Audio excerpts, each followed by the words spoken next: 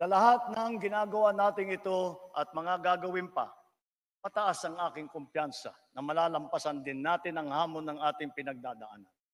Dahil ito ang pangunahing hinain ng taong bayan.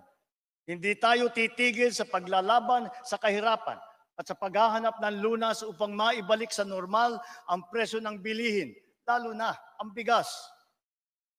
At ngayon po, naririnig po namin ang malakas na sigaw ng taong bayan laban sa mga pogo.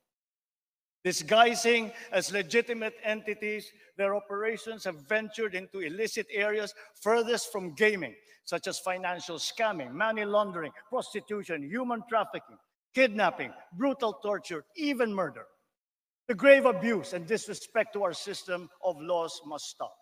Kailangan nang itigil ang panggulo nito sa ating lipunan at paglalapastangan sa ating bansa.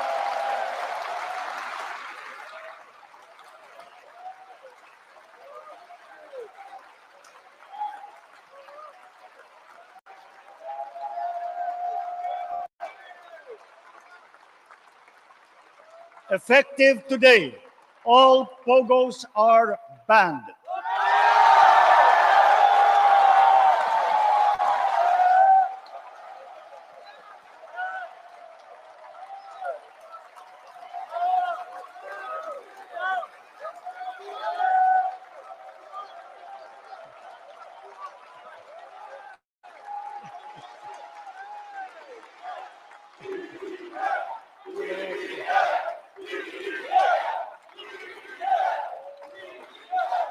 I hereby, I hereby instruct PAGCOR to wind down and cease the operation of POGOs by the end of the year. The DOLE, in coordination with our economic managers, shall use the time between now and then to find new jobs for our countrymen who will be displaced.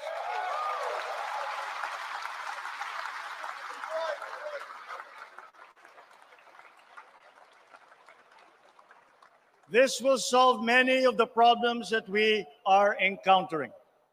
It will solve many of the problems that we have been encountering, but it will not solve all of them.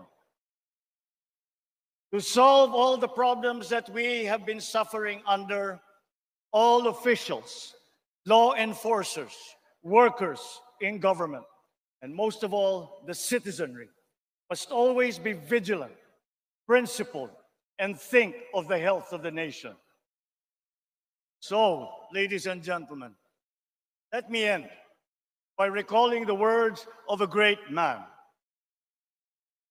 Let not anyone pacify his conscience by the delusion that he can do no harm if he takes no part and, no, and forms no opinion. Bad men need nothing more to compass their ends than that good men should look on and do nothing. He is not a good man